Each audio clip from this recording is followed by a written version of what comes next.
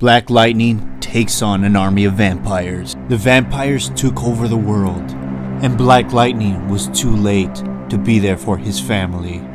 The day Metropolis fell, the sun ended up getting blotted out, and as he arrived home to an empty building, take away a man's family, and what more hope does he have?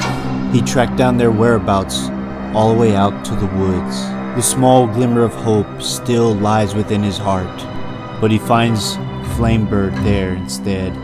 He can already tell who the culprits are, but clutched in her hands, he finds a message of where his family can be, as he wonders if this is all but just a trap. A man like Jefferson must see with his own eyes if this is truly a trap. But he notices that the handwriting, which matches Lynn, but why San Francisco if the eyes that are lurking in the woods are here right now?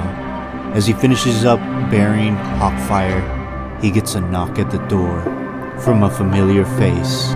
As he notices that Looker has changed sides. She came here not looking for trouble but to recruit him.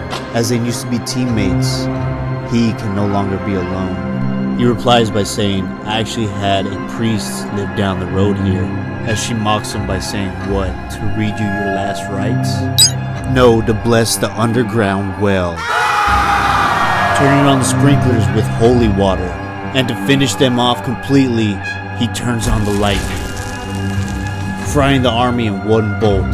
But Looker catches him off guard with a single shot. She might be on a different team, but she still has her same old habits. As he stakes her through the chest with the cross.